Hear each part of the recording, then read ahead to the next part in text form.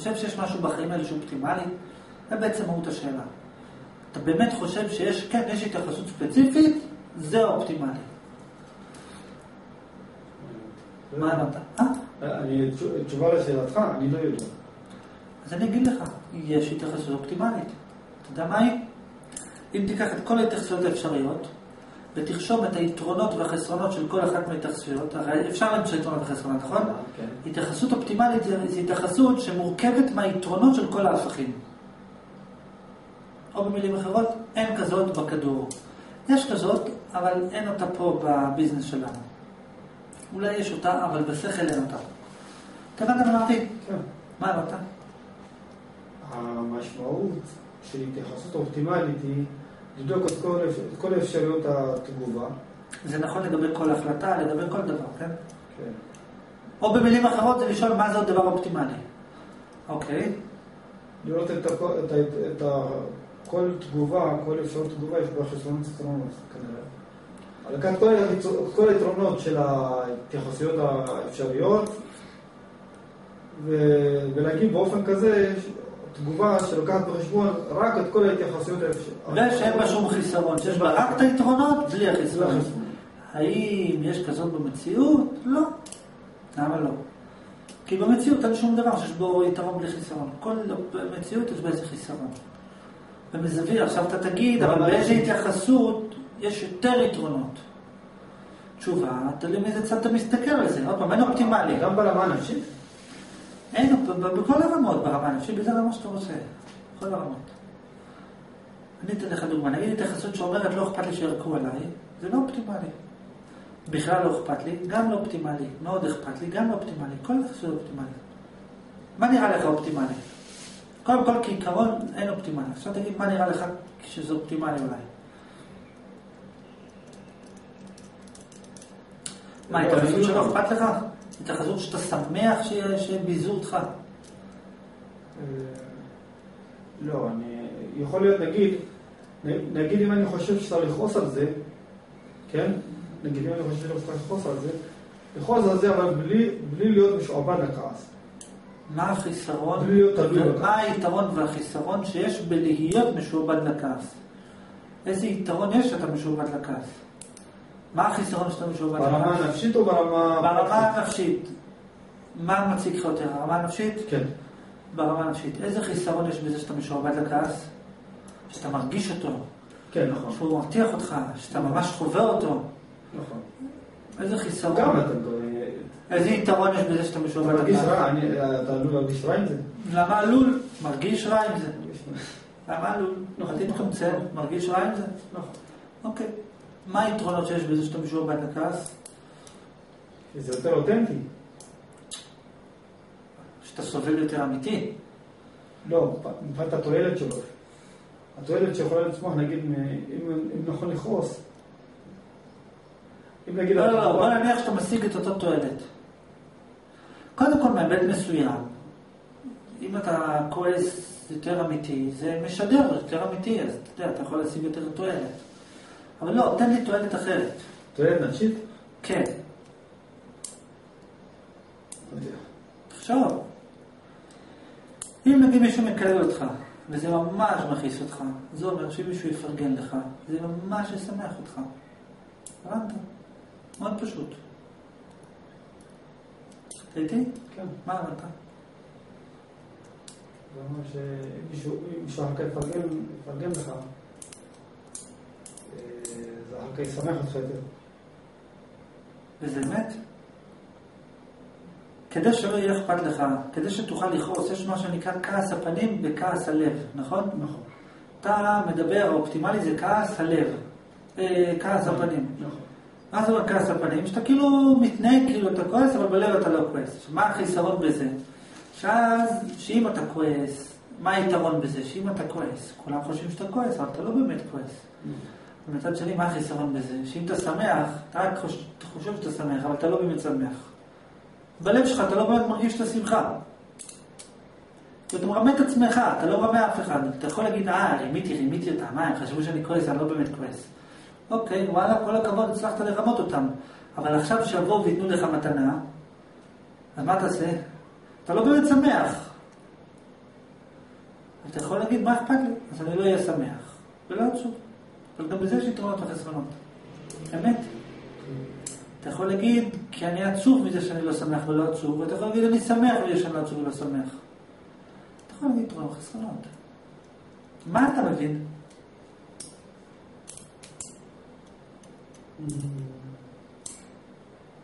Hmm? מה, לא חשבת על זה? תגיד לי. אינסטינקטיבית, ככל שיותר רע לך, אז ההפך שלו יותר טוב לך. טוב, תסביר מה הבנת, מה אתה מבין. אז אני לא יודע, מה זה, הרצון הבסיסי הזה הוא יסודו בטעות? איזה רצון יסודו בטעות? הרצון... איזה רצון? יש אצל חלק מהאנשים רצון בסיסי, שהכעס, הוא לא רוצים אותו. לא רוצים אותו? ברור. כי בזכות זה שהם לא רוצים אותו, בזכות זה כשהם לא כועסים טוב להם. הם לא רוצים לכעוס, ובזכות זה כשהם לא כועסים טוב להם. כאילו עוד פעם המשחק של ה... אם לא היה אכפת להם שהם כועסים, אם לא היה אכפת להם שהם כועסים, אז הם כבר לא היו כועסים, אז איך יהיה להם טוב? אז אתה תכעס, תהיה לך רע מזה שאתה כועס, ואז שיגידו לך סליחה, אתה תרגיש מאוד טוב. וכשיבואו לפייס, את הכוונה, זה ההפך שלו.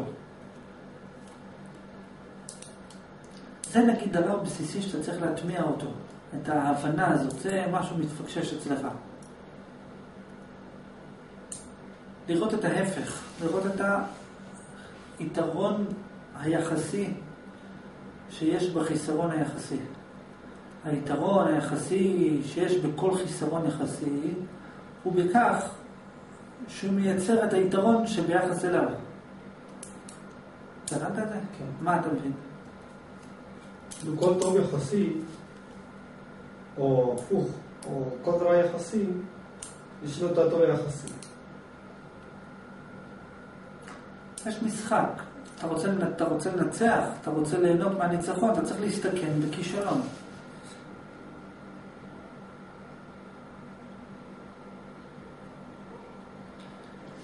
ואם אתה לא מוכן להסתכן שיגידו שאתה לוזר, אפס, מפסיד, אז אתה גם לא יכול לנצח. אתה לא יכול לעלות למגרש. ואם אתה תעלה למגרש, אתה תדע מראש שאתה מנצח, אתה גם לא תהנה מהמשחק. גם כשאני לך ניצחת, אתה כבר לא מתרגש מזה, כי אתה כבר יודע שניצחת. לא מילא אצלך שום חיסרון. כדי למלא את החיסרון, אתה צריך שיהיה לך את הספק, האם אני אצליח, כי אם אתה בטוח מאה אחוז שתצליח, אז זה כבר לא מעניין, אתה כבר יודע מראש כבר מה יהיה.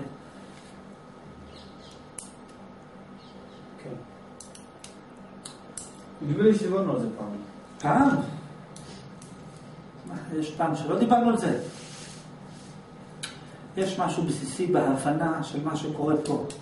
להבין, אתה נהנה מהאוכל כי היית רעב. אתה רעב כי קודם נהנית, רע לך מזה שאתה רעב כי קודם נהנית מהאוכל. זה הסיפור. אתה סובל מכך שאתה רעב בגלל שאתה נהנה מכך שאתה שבע.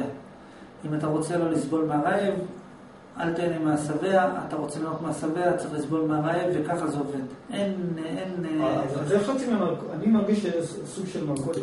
נכון, אכזרית. מה, זה חצי מהמלכודת. אה, אתה רוצה קצת ממנה? איך לא? אני יודע שזה מלכודת, אז מה? תתבונן בזה ותצא ממנה בהמשך. בעתיד, בעתיד, תגיד, תקשיב, אני לא רוצה לא את היתרון, לא את החיסרון, עזבו אותי בשקט. או שתגיד, אני רוצה רק את היתרון בלי חיסרון. היה פעם מישהו כזה שאמר, אני רוצה יתרון בלי חיסרון. אתה מכיר מישהו כזה? אתה זוכר שדיברנו על זה? כן, כן, כן. מה דיברנו? על זה דיברנו. נכון. נכון. אז מישהו אמר, מה אמר? שאם מישהו יבוא לפגישה אישית ו... אז אז, כן, אז, אז. מה יקרה? אז יגידו לו אי אפשר. תגיד, אתה רוצה? אה? אז יגידו לו שאי אפשר. זה מה שנאמר שם. אמרו, אם מישהו יבוא לפגישה אישית ויגיד, אני רוצה יתרון בלי חיסרון, יגידו לו, אין אפשרות. ואם הוא יגיד, לא אכפת לי שאין אפשרות, אני רוצה בכל זאת, תגידו לו, לא אכפת לי שאתה רוצה בכל זאת, אין אפשרות. ואם הוא באמת ירצה, אז הוא יקבל. זה כמו, אתה יודע, דיברנו על דעת החרב המתהפכת. נו.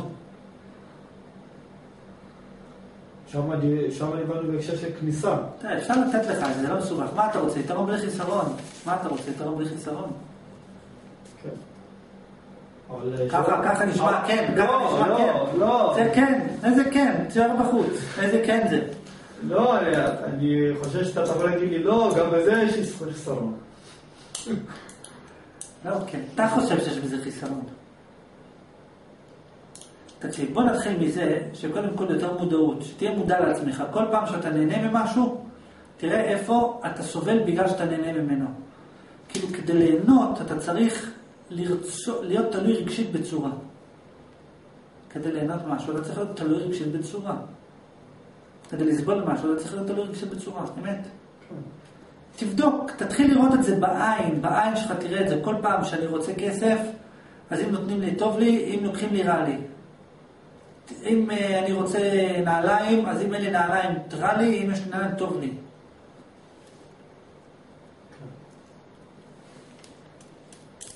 כי כאילו, אני לא... עם- עם עם מציאות כזאת, כבר אני לא לא מבין למה למה יהיה לי מוטיבציה לחיות בכלל. למה שיהיה לך מוטיבציה למות? רגע, אוקיי, בוא נניח שלא יהיה לך מוטיבציה לחיות. מה תעשה? תלך למות? להתאבד, נגיד? נגיד, מה, נגיד להתאבד? אבל זה גם לא הגיוני, כי מה, למה לי להתאבד? מה אז אני אתן לי? למה יתרון וחיסרון? באמת? אתה להתאבד זה לא, בכל לא, מקרה לא לא להתאבד. לא להתאבד. זה לא יכול לדחוף אותך להתאבד, זה לא, יכול לדחוף אותך אולי לא, בכל לא להיות משנה. מה הבן אדם יעשה, אתה מבין? לא... לא ברמה של לעשות מעשה כזה או אחר. מבחינת התוכן של החיים. למה לא? לי זה גרם להתאבד. אני בגלל המחשבות האלה בסוף בחרתי להתאבד. התאבדתי. אתה עכשיו מדבר עם בן אדם מת. אבל גם להתאבד זה- גם אה, חיסרון מאיתנו, אז מה? לא, לא אכפת לי שום דבר. אני נמאס לי, התאבדתי וזהו. אבל גם וידאתי שאני לא אחזור לפה עוד פעם. פרק בספר לא אלוהים איך להתאבד. אתה מכיר את הפרק הזה? יודע שיש פרק כזה. יש פרק כזה איך להתאבד. התאבדות, איך להתאבד, לא זוכר איפה זה. איפשהו יש פרק כזה. כן, אני יודע שיש פרק כזה, קראתי. כן. אוקיי. זה בעמוד 256 בחלק הראשון של להיות אלוהים. התאבדות, מהי מהות הרצון של אדם להתאבד ואיך להתאבד באמת. יש פרק. טוב, מה אתה אומר? מה אתה מבין? בוא נתחיל מההתחלה. עכשיו אתה הולך בזה, מישהו מקלל אותך, לא יודע מה. מה הדבר האופטימלי לקבל את זה? אה, מה, אתה מדוכא?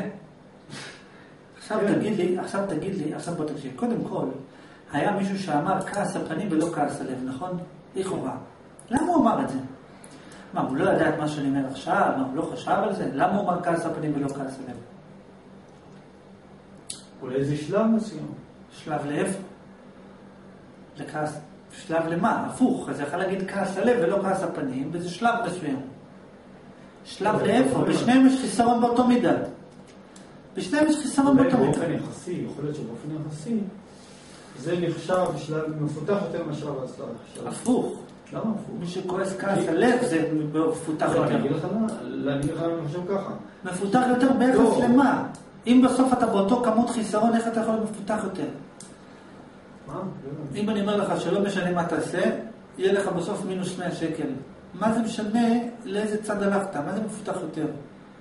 הרי גם אם אתה תגיע לכעס הפנים זה גרוע כמו כעס הלב. אני אומר שיש לי שני טיפים בשבילך איך להתפתח. אחד, תקשיב, מהיום אתה יותר לא כועס כעס הלב, רק כעס הפנים. טיפ שני, תקשיב, מהיום אתה לא כועס יותר כעס הפנים, רק כעס הלב. אל תעמיד יותר פנים. אם אתה לא כועס באמת, אל תראה שאתה כועס. אם אתה, אם, אתה, אם אתה מבטא משהו, אתה צריך שגם בלב שזה יהיה ככה. אפשר עוד דרך להגיד, אתה צריך שלא יהיה הבדל בין הלב לפנים. אפשר להגיד לא, אתה צריך שבלב ובפנים לא תכעס. אפשר להגיד לא, אתה צריך שגם בלב וגם בפנים תכעס. אפשר להגיד, כל דבר יש לו יתרון. יש יתרונות לכעס הלב ולא הפנים, יש, חסר, יש יתרונות לכעס הפנים ולא הלב, יש יתרונות ל- לכעס הפנים והלב, יש יתרונות ללא כעס לא בזה ולא בזה, יש יתרונות לכל דבר. אמת. תחפש, אתה תמצא. איתי או לא איתי? כן, אני איתך, אני מנסה לענות על השאלה שלך. מה הייתה השאלה שלי? למה, למה בכל זאת אה, יש מי שאמר... תשובה. אז מה התשובה? אני חשבתי להגיד שבאופן יחסי, כאילו היתרון היחסי של זה, זה יותר גדול. אבל, יש, אבל זה לא אמת. אבל. זה לא אמת. אבל זה לא אמת. זה לא אמת. כי החיסרון זה ההפך שלו, שאז אתה לא נהנה מדברים. אני לא מבין, אבל, אבל ככה גם אנחנו מאבדים את היתרון היחסי. כאילו אי כן. אפשר לדרג, מה? אפשר לדרג באופן לא, יחסי. אתה יכול להגיד באופן יחסי לסבל שנובע מהכעס, כעס הפנים עדיף מכעס הלב. אבל אם אתה תסתכל ברמה הכללית יותר, אז אם אתה כועס, עוד פעם, באופן יחסי ספציפי לכעס, ברור, עדיף שתכעס בפנים ולא בלב. אבל אם אתה מסתכל על המשמעות של זה, על המהות של זה, אז אם אתה כועס בפנים ולא בלב, זה אומר שלא אכפת לך, ואם לא אכפת לך, אתה גם לא יכול ליהנות. אז זה החיסרון שבדבר. עדיף לא ליהנות מאשר לסבול אולי. יכול להיות, אבל זה כבר שווה. באמת, זה כבר שווה. מה? אבל זה כבר שווה במינון. מה זאת אומרת שבמינון? כאילו, אם אני אומר לך, אני אקח לך שעה אחת של סבל, ובתמורה אני אקח לך שעה אחת של הנאה. כן. אה, זה כבר אותו דבר. כאילו, זה כבר לא משנה כבר כמה כמות. אתה יכול לסבול יותר, ליהנות יותר, לסבול פחות, ליהנות פחות. אולי אנשים מעדיפים ליהנות פחות מאוד. לא. כמו לא- באמת? אם אם אנשים לא- היו מעדיפים, אם אנשים היו מעדיפים את לא, זה, לא לא אם אנשים היו מעדיפים את זה, הם היו מתאבדים. למה אנשים לא מתאבדים? כי הם רוצים ליהנות. חלק מהסיבה שאנשים לא מתאבדים זה כי הם רוצים ליהנות. אם באמת אנשים אומרים, אני לא רוצה לסבול, לא אכפת לי מה העיקר, לא, לא מוכן לוותר על ההנאה, בדרך כלל יש כאלה שמתאבדים. לא תמיד, יש בזה עוד סיבות, עוד עניינים, אבל באופן כללי, זה לא נכון שאנשים בשביל לא לסבול מוכנים לא ליהנות. תראה, בן אדם יודע מראש ש-30% סיכוי שהוא יתגרש. נכון? סטטיסטית, ואף על פי כן מתחתן. לכאורה, למה? בן אדם יודע מראש שהוא ימות בסוף, ושהוא יצטרך לעזוב את כל הרכוש שלו, אז למה הוא כל כך מתאמץ לאסוף אותו? הרי בסוף גם יהיה לך קשה להיפרד ממנו, אז למה לך להתאמץ לאסוף אותו? כי הוא אומר, אף על פי כן אני מוכן ליהנות, למרות שבסוף אני אסבול. זה לא נכון. ליהנות אה, זה... תראה, כשאתה נהנה, אתה אומר, לא אכפת לי שאני אסבול אחר כך. כשאתה סובל, אתה אומר, לא אכפת לי שאני אהנה אחר כך. אבל מה האמת? שבסופו של דבר אתה יודע מראש שאתה הולך לסבול ובכל זאת אתה הולך ליהנות, למרות שאתה יודע שתשלם על זה אחר כך, ומצד שני אתה גם סובל ולא כל כך אכפת לך, כי בתת מודע אתה גם יודע שאתה תהנה אחר כך. בתת מודע. אני לא יודע אם היה מודע במאה אחוז. מה? אם היה במודעות מלאה אני לא יודע מה. אז היית חווה שווה כבר, לא היית לא נהנה ולא סובל. זה היה מתקזז לך. כל פעם שהיית נהנה, היית, זה היה, לא היית מרגיש את זה, כי היה, היית גם חווה את הסבל מהדבר. ואם היית סובל, לא מרגיש את זה כדי חווה את העניין של הדבר, לא נהנה ולא סובל. הבנת? עכשיו, אז אני אחזור לשאלה, הבנת את זה? כן, כן. עכשיו אני אחזור לשאלה הקודמת, אז למה באמת הם אמרו כעס הפנים ולא כעס הלב? נסביר לך, כי מי שאמר כעס הפנים ולא כעס הלב, לא באמת חווה כעס הפנים ולא כעס הלב. מי שנתן את העצה הזאת, לא, הוא בעצמו לא, לא, אה, לא הגיע אליה בשלמות. כי אם הוא מגיע אליה בשלמות, הוא רואה את החיסרון שלה. ואז הוא לא ממליץ עליה לאחרים. מה אתה קופץ? אני מסביר לך. זה מצחיק קצת. כל בן אדם לא, מאיפה בעולם. בא לו מחשבה, סתם. לא, אני לא אמרתי מאיפה בא למחשבה, מחשבה באה לו.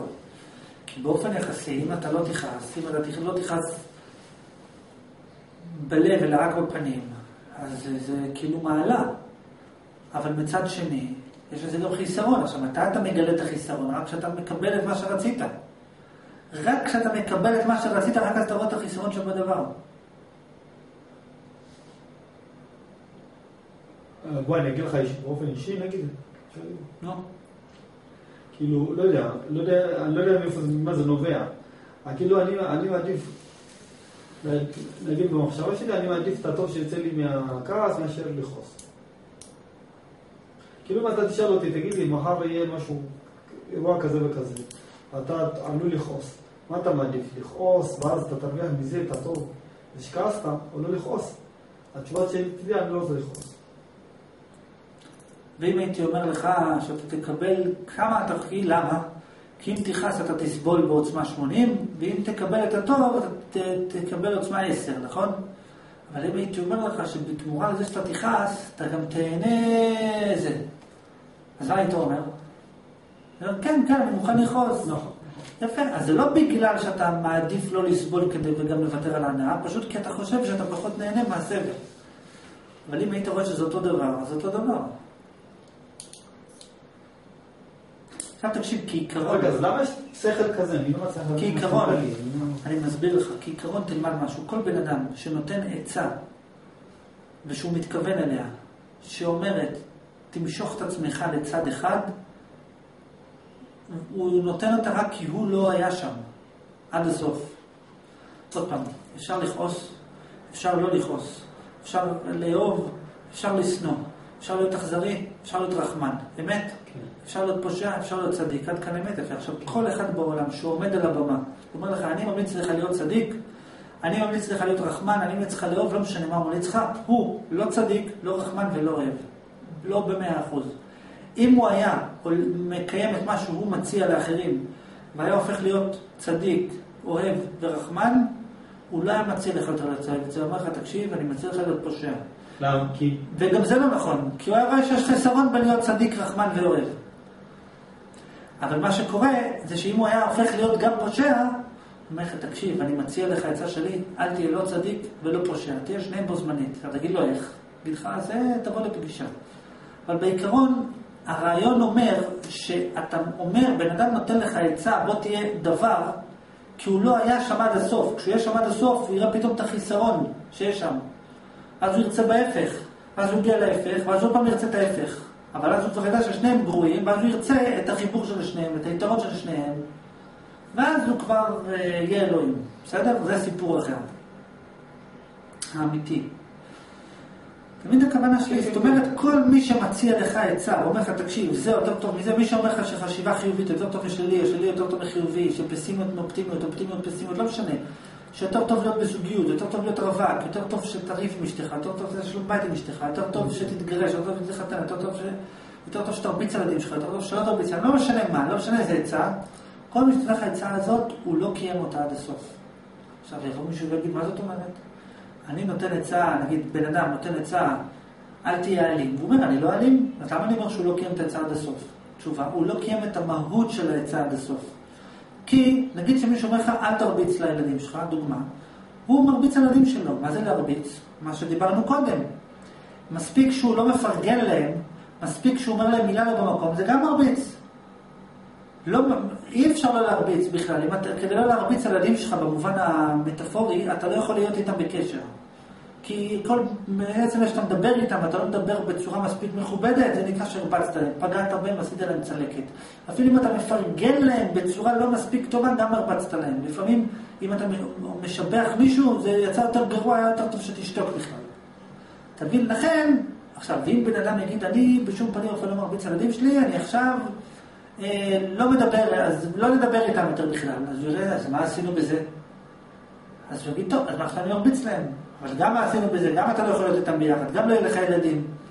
אז מה עושים? באמצע, מינונים כאלה ואחרים, זה כן, זה לא, זה לא, זה כן, אתה מבין? עכשיו, זה מה שאנשים עושים, ואז הם מוצאים קרחים מכאן ומכאן. אבל יש את ה... אם אתה רוצה להיות בשלמות, שאתה תמיד... אז זה סיפור אחר, בקיצור. מה שבאתי להגיד, שכל מי שנותן לך עצה, לך ימינה או שמאלה, הוא עצמו לא היה לא ימינה ולא שמאלה. אז למה בכל זאת מציע? יש איזה רציונל. כי באופן יחסי לאיפה שהוא נמצא כרגע, הוא חושב שימינה יותר טוב משמאלה. גם אתה חושב כמוהו. אתה מכיר את אלה שנוסעים בכביש לדרום. אתה רואה את אלה שבאים מהצפון, אתה אומר, רגע, אם שם יותר טוב, למה הם נוסעים לכיוון ההפוך? אתה יכול לראות נגיד אה, איזה מקום ש...